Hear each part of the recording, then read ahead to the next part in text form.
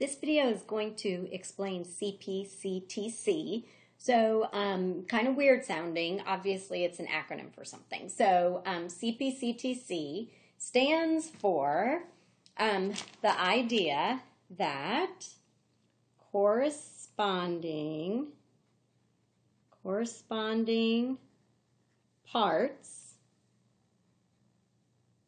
of congruent triangles are congruent. So that's where we get, oops, sorry about that, the CPCTC. So corresponding parts of congruent triangles are congruent. All right, so what it says is exactly what it means. So if we have two triangles and we know that they are congruent to each other because maybe side angle side. So let's just use this as an example. So let's say I have A, B, C, and then we have over here D, E, F. And let's say that I told you that those two sides were congruent and those two sides were congruent and this angle is congruent to that angle. Now, that's all that you know. You know that those two corresponding sides are congruent.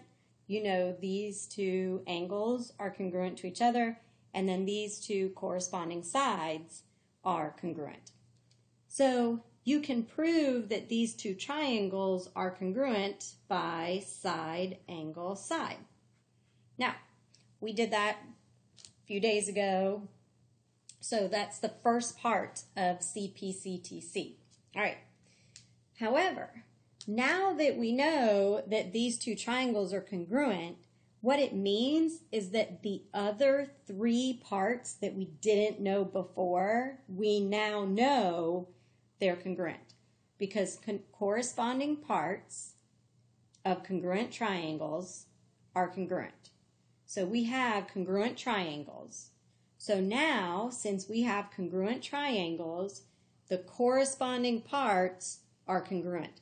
So that means that I now know that B is congruent to E. I now know that angle C is congruent to angle F. And I also know that side BC is congruent to side EF. But those three things came after I used side angle side to prove that the triangles are congruent. So the bottom line is, in order for triangles to be congruent, that means that all three sides of one triangle are congruent to the corresponding three sides of the other triangle. And it means that the three angles of one triangle are congruent to their corresponding three angles in the other triangle. So those are all congruent. However, we know that we can use side angle side, angle, angle, side, angle, side, angle, side, side, side, and hypotenuse leg to prove that the triangles are congruent. This CPCTC lets us say that now we know these other things are also congruent. So let's do one proof I think will be enough um, to get this explained. So let me move all my markers, dumped everything out here. All right, so for this example, so this is going to be our one and only example here. Um, I am going to start you off with this sketch here. Um, and then, you know, just remember that it's not necessary. Oh, good grief necessarily drawn to scale. Um, let's say this is R, T, um, W, and Q. Some random letters there. All right, so here is your given information.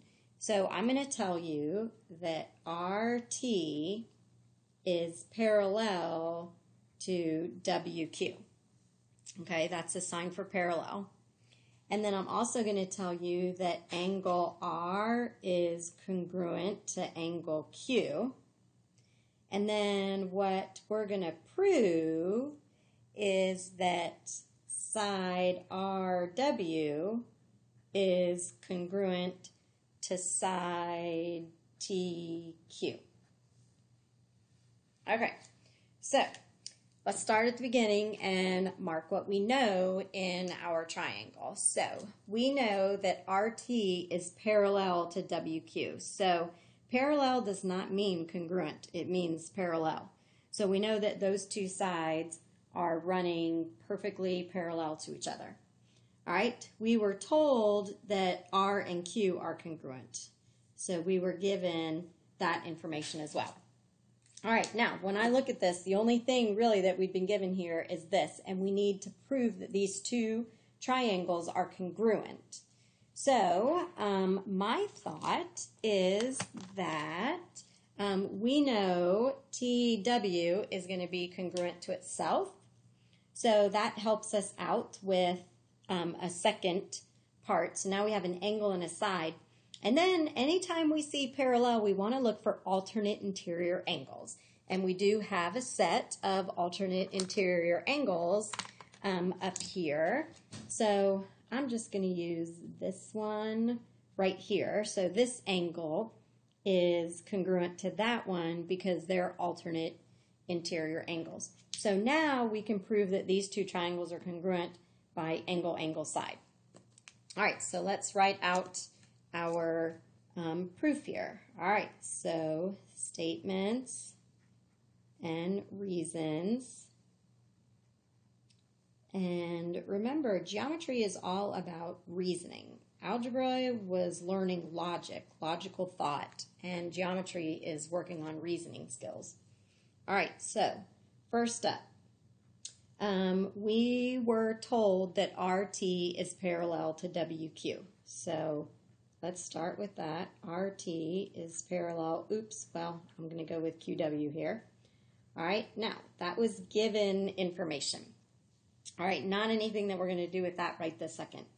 Um, the other thing that we were given is that angle R is congruent to angle Q. So that was given. So that gives us an angle.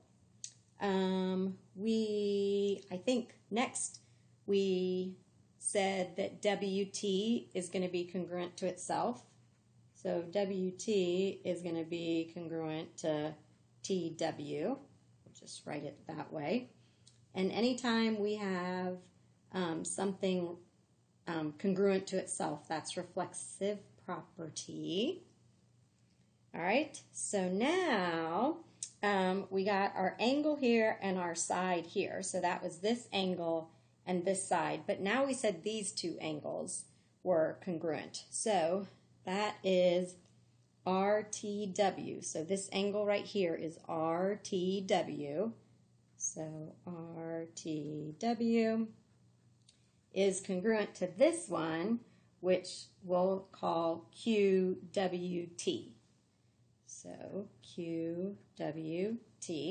Now, the reason why we know that those two angles are congruent is because alternate interior angles are congruent. Now, we were given that those lines were parallel, so alternate interior angles are congruent if parallel. Okay, so we know that alternate interior angles are congruent, but only if the lines are parallel, and that's what our given statement said. So that kind of helps us support that we know those two angles are congruent. All right, so now we have enough to prove um, using angle, angle, side. So by angle, angle, side, we know that triangle, and I might just go with um, this right here. RTW is congruent. Oh no, ah, that's a triangle. Um, QWT.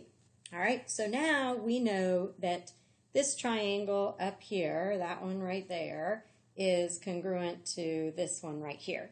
Well, now that we know that, we know that this side is congruent to that side. We know that angle is congruent to that angle, and we know this angle, side, sorry, this side is congruent to that side because once we prove that triangles are congruent, then the other three parts that we didn't use are now congruent as well because that is what uh, congruent triangles mean. So Statement six is going to be what we're supposed to be proving here, which was that RW is congruent to TQ. And we know that because after we proved congruent triangles, congruent parts are also congruent. So CPCTC is how we end that. All right, so that takes care of an example using CPCTC. Um, basically, what's going to happen is you'll know that you need to use CPCTC if your proof statement isn't telling you to prove two triangles are congruent. If you're trying to prove that two triangles are congruent, then we would have stopped on line five. That would have been our final one because that's where we proved the triangles are congruent. But this said to go a step further. So we know that in order to prove that two sides are congruent, we have to prove that the triangles are congruent and then we know that all the rest of the parts of the triangle are going to be congruent as well. That is um, corresponding parts of congruent triangles are congruent.